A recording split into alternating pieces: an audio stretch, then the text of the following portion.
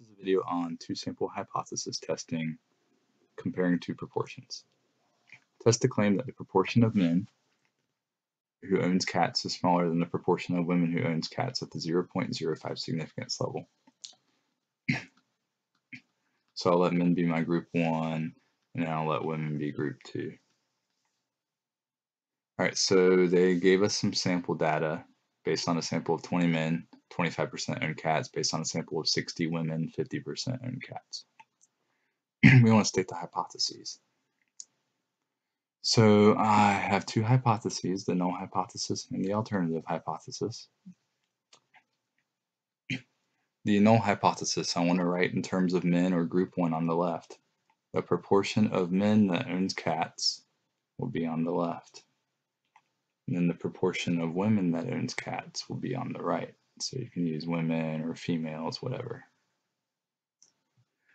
All right, so we're dealing with men is smaller than women, so less than, which means equality has to go with your null hypothesis here. Less than has to go to your alternative, and this is actually our claim.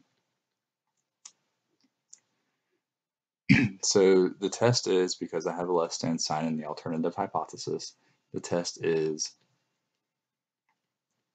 left tail.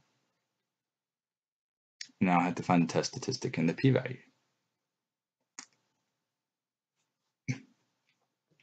So group one, I need the number of successes, the number of people that own cats. So X1 is out of 20 men, 25% own cats, which is five sample size there was 20.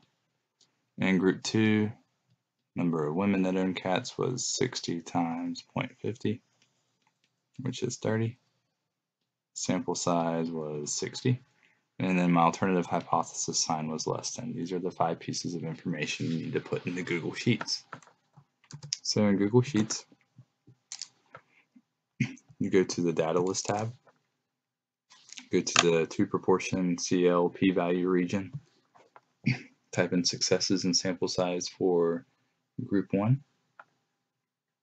So 5, 20. Type in your successes and sample size for group two.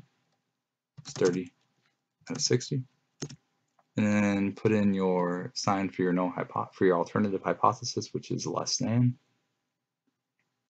you have the test statistic of 1 point, negative 1.95 and then you had the p-value of 0.0255. So you'll record these two values. You get negative 1.95 for the test statistic and 0.0255 for the p-value. Now let's compare the p-value to our significance level alpha which happens to be 0.05 in this case. So your claim is your alternative hypothesis. You have your p-value, and then you're going to compare it to alpha. Because the p-value is less than alpha, we will reject the null hypothesis. So we are rejecting the null hypothesis, and the claim does not include equality, so that puts us in row 1. It gives us a statement there is sufficient evidence to support the claim. The proportion of men who owns cats is smaller than the proportion of women who owns cats. Thank you for watching.